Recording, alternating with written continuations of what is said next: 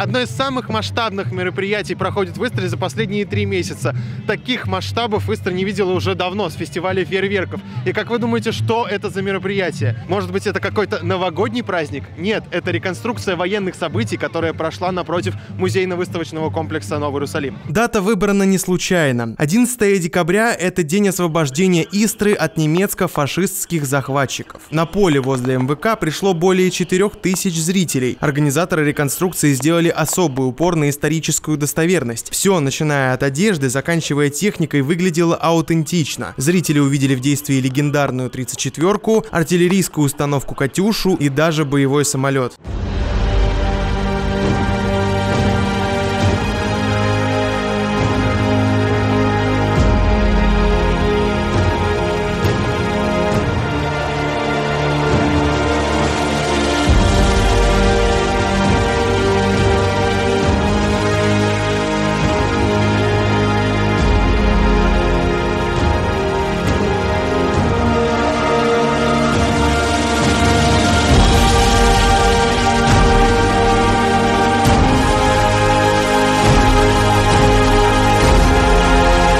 Ажиотаж был действительно огромен. Из-за мероприятия в городе образовались пробки, а некоторые зрители не нашли удобного места, чтобы полностью насладиться боевыми действиями. Но все гости однозначно остались довольны. Отлично, отлично.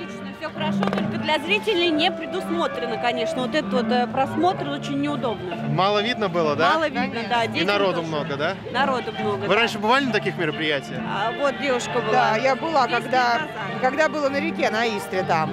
И Ага. было лучше видно, потому что там горка, а здесь ничего не видно. Ну а по масштабам мероприятия? А по масштабам хорошо, самолет, танки, все шикарно. Да, все шикарно.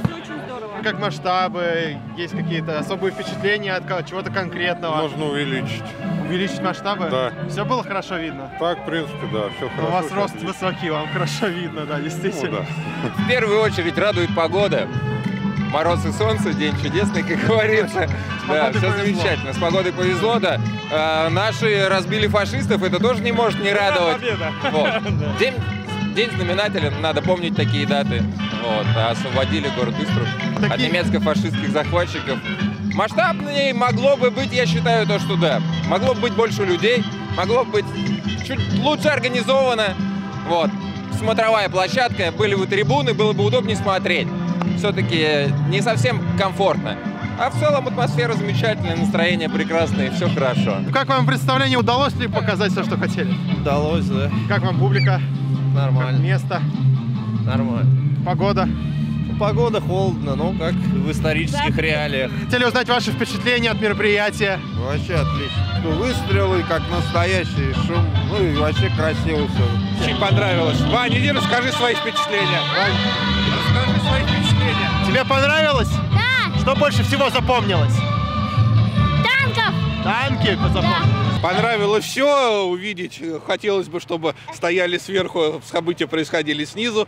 А так все отлично. Ну, в первую очередь, для них это нужно.